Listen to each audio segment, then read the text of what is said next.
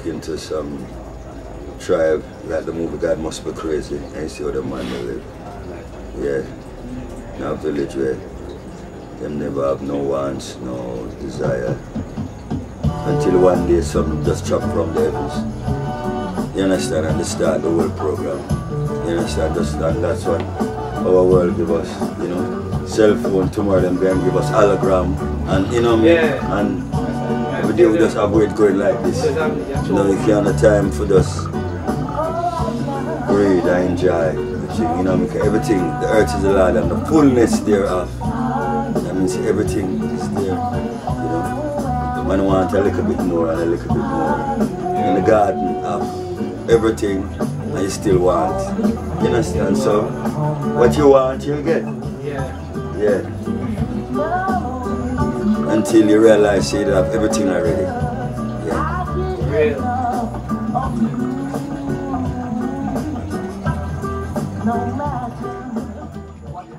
Every day. You understand? You experience a miracle and you learn something new from it. Yeah. The miracle them sometimes you're so busy and focused on the thing that it passes you. You understand? But you experience a miracle every day. That's why it's good for relax. Most people don't relax. You understand? You know, and today I'm finding more because uh, I'm on everything alright. I see him, him come back, him come back and when my cell phone there and him tension build up. And I'm finding it and him just mm, come back down again. Some people them, them think just uh, you, you know? Yeah. I grew up with um, my family them being religious people. That means some say my mother go to church. And you know what I mean, and sister them and brother. So we go to church too. And we are listen to God's word. When we hear the story of Christ. The story of Christ was the most fascinating story. You understand? Because as I look at you, me hear, me hear a story of a man without blemish, Christ. You understand? So I remember all my Sunday school teacher. You understand? When she had tell me all some Christ story. You understand? Yeah. Alright, so we grew up and then I live in a neighborhood like Greenwich Town, me I say the Rasta man. Then as I look at you too, you know, we'll go over and we start smoke herb and we'll go against the elder them and we hear the elder them attack. Alright, two different living. Okay, so when we go and say look Rasta man, him smart. Him the smartest man me ever known. You understand? But him not so rich.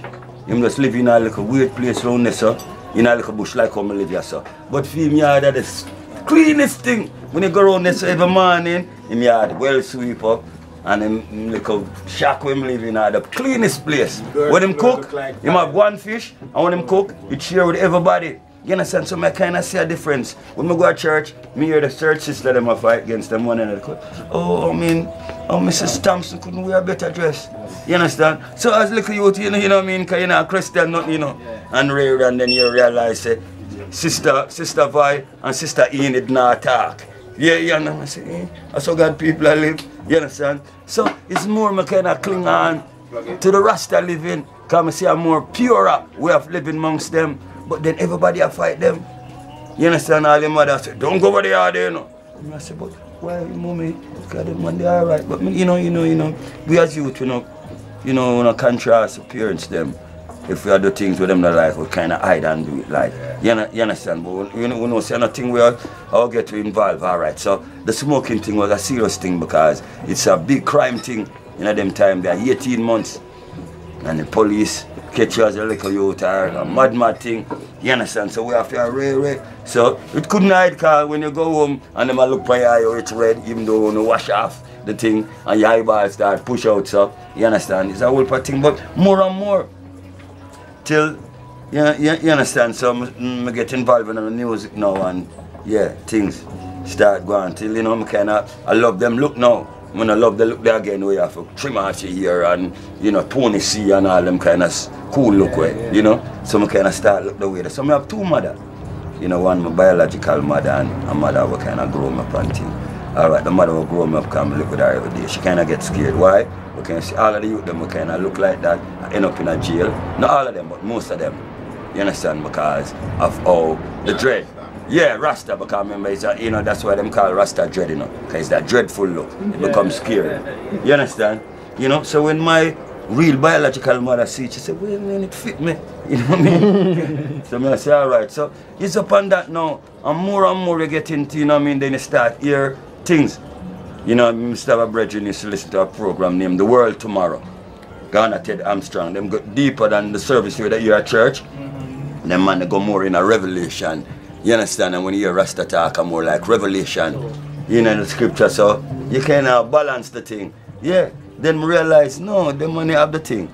You know? Till year well and boy, I mean, you know, the man I'm tell you have the crowning of the king and we should stop look for our king, our queen in Europe because we have our king in Africa and our king is not no ordinary king. He might the king of all king. And you know what I mean? So the information just start come up till me realize like that.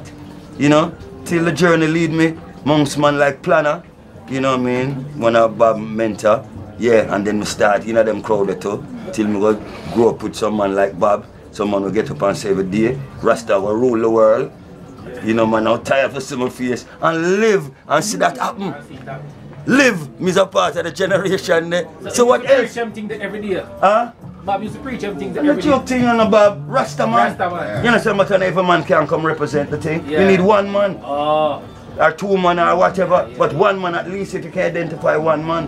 You understand? And you can wire him up. Uh, you know what I mean? Yeah, pour him up. You understand? And give him message. And then carry. Carry it. Yeah, and carry it Yeah. wisely. Like a postman come drop off the thing. You just go in a letterbox and get it, you know? Yeah, man. The way there. And it was well delivered. Right. You see what I say? That lyric about yeah. Yeah. What was it like working like Bob Marley and Dennis Brown? Alright, Dennis Rose kind of surprised to me because them youth was so poor.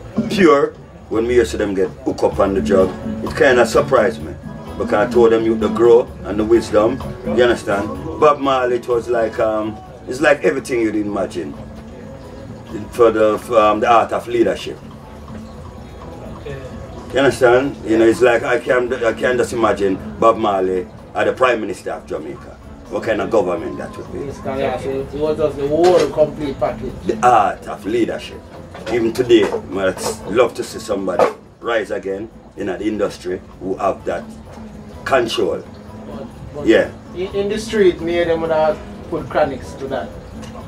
In next back. We don't know why. Well, everybody can want to compare. You know, I've seen the youth a couple of times and him have a great personality and a great spirit. Yeah, but I don't know if you have done enough, enough yet for him to be comparing with great, you know, ones like that. You understand? I let them do with youth all the time. Yeah, right. I'm Yeah, I fully agree. Yeah. You understand me, I deal because this is not a joke thing. You understand? How many albums Chronixx put out? All right. Yeah, ta- well, you know what I mean? Just, you know what I mean? Just even, Yeah. you know, just even, just look at it as a banking system. What kind of interest you have if you just have two dollar in a bank when a man will have, you know, three million. You understand? Yeah, yeah. You understand? And so you have to judge the thing. It's numbers. Yeah. Yeah, but you know what I mean? Yeah. Yeah, man, with loving personality and that's what we need now because them try with gangster thing. You know, you see most of the man them, a lot of the old school people in year, you know, you know, before your generation, we know end up a prison as murderer, we know end up there as juggies and all them kind of thing there, which is not good message for your youth them. True.